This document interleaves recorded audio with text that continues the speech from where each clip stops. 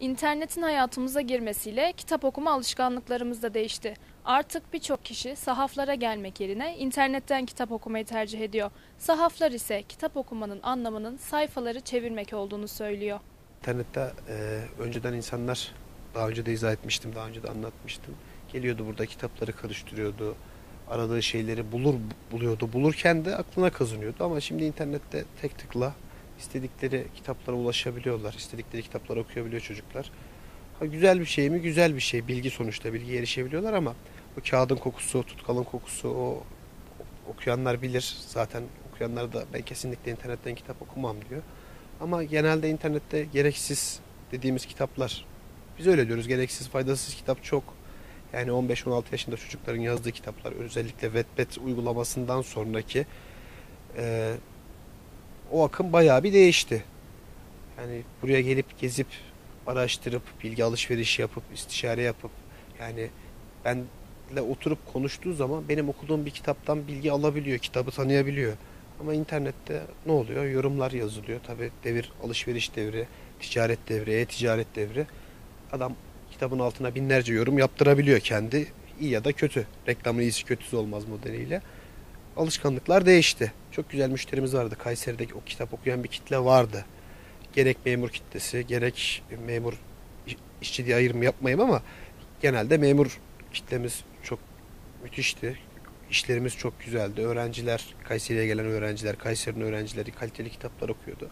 Ama işlerimiz düştü diyebilirim. Neden düştü? Çünkü e-ticaret hayatın her yerinde. Alt komşu üst komşudan sipariş veriyor. İşte, örnek veriyorum ürün alıyor. Üst komşusunun o işi yaptığını bilmiyor. İnternet bizim işimizi baya baya kesti. Peki şu an hangi yaş grubu daha çok tercih ediyor kitap almayı, okumayı? Ya aslında yaş grubu olarak değil de e, şöyle söyleyeyim. Her kitlede müşterimiz var. Ama genelde öğrenciler geliyor. Öğrenciler de geldi işte şurada gördüğünüz üzere Wattpad kitapları dediğimiz kitaplar. Bunlar da olmasa zaten biz ekmek yiyemeyeceğiz. İnternet aslında bir noktada bize de fayda sağladı. İnternette yazılan o kitaplar yayın evleri tarafından ilgi görüyor, basılıyor ve kitaplaştırılıyor. Çocuk internetten okuduğu kitabın gelip de burada basılmış halini istiyor bizden. Yani düşünün gereksiz yere para harcamanın kullanıldığı en güzel alanlardan biri bence bu. Peki ikinci el kitap işleyişiniz nasıl? İkinci el kitap fiyatlarımız zaten bilen biliyor. Fiyatlarımız çok uygun. Yani 3 tanesi 10 liraya yıl olmuş 2022 asgari ücret olmuş 4250 lira. Bir ekmek olmuş 2 lira. 2,5 lira dövüş kavgası çalınıyor. Biz 3 tanesini, 5 tanesini, 10 tanesini 10 liraya kitap satıyoruz. Yani bir ekmeğin e, mal edilmesiyle, mal edilmesiyle demeyeyim, imalatıyla bir kitabın imalatı arasında dağlar kadar fark var. Ya yok parasına kitap satıyoruz. Yani 5 liralarla 3 liralarla kitap satıyoruz. Yani kitap telefon gibi değil, araba gibi değil. Yani okurken yarıda şarjın bitti diye elinde kalmaz. Ya da, ya da benzinin bitti diye seni yolda bırakmaz. İkinci eldir. Biri okumuştur, temizdir. Getirir bize satar.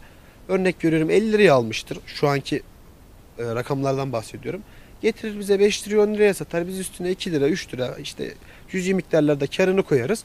Satarız. O, o da okur. Tekrardan geri bize getirir. Yani ikinci el kitap diye bir ayrım yapılmanın bence ya ikinci el deyince insanlar korkuyor ya ikinci el sonuçta ben ikinci el kitap okumam ben başkasının okuduğunu okumam ya onda bir yaşanmışlık var ben e, reklam vermiş gibi olmayayım o yayın evine reklamı da olmasın da Uçurtma Avcısı diye bir kitap var onu okuyan birçok insan bilir ben onun birçok ikinci elini aldığım zaman o sayfalarda kabarcıkları görmüşümdür yani okurken ağlamıştır onu okuyan o gözyaşları vardır yani o sayfanın kabardığı bellidir. Yani yaşanmışlık var. Altını çiziyor, kıymetli olan yerleri işaretliyor. Yani adam senin adına o kitabın altyapısını hazırlamış. Kitapta bu nokta çok güzel. Bak burayı oku.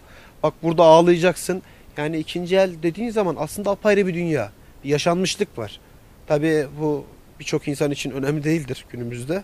Ama duygusal insanlar gerçekten kitaba, insanlara, insanlığa değer veren insanların bence ikinci el kitap okuması gerekiyor ki o yaşanmışlığı görsünler. Cehaletin önüne nasıl geçeriz? Okumakla geçeriz. Ha ikinci el ha sıfır ama bir şekilde okuyun. Eskiden bizim çocukluğumuzda şey derlerdi. Okursa ne okursa okusun. Gazete okusun. Onu okusun bunu okusun. Ama artık o devir değişti.